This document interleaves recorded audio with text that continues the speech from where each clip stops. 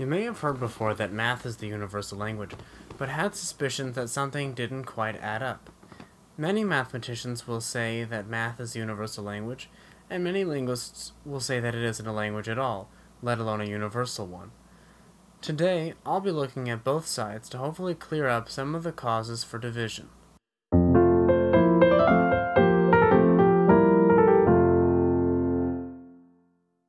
The question may seem as if there's only a yes or no answer attached, but it's much deeper than that would do justice for.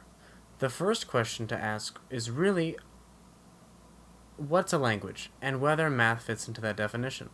When we exclude computer languages, a definition for what's a language might look like the method of human communication, either spoken or written, consisting of words in a structured and conventional way.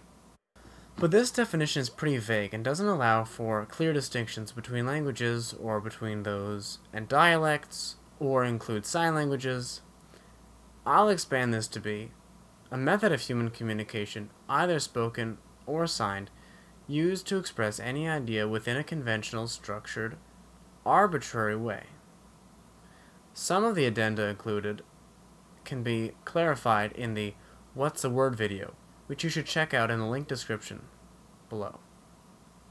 Math does communicate things arbitrarily, as even symbol concepts and numbers are abstract themselves. Also, it does use conventional standards, and even order of operations could be thought of like a sort of syntax. This will be looked over in a second. However, math is extremely limited in what it can communicate. Even when blended with physics in calculus, all this communicates is math. Even invented languages of 120 words communicate more with those than one could with math. Just think how word problems can contain what math equations could, but the reverse is not true.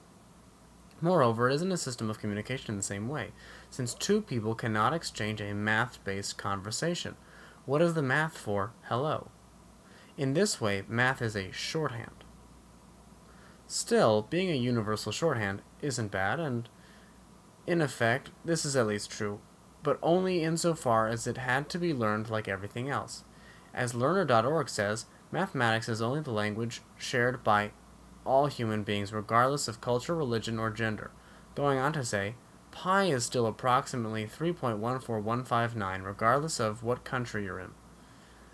At one point in European history, Latin was the language of academic work and was used in lectures and articles for every subject, from literature to math.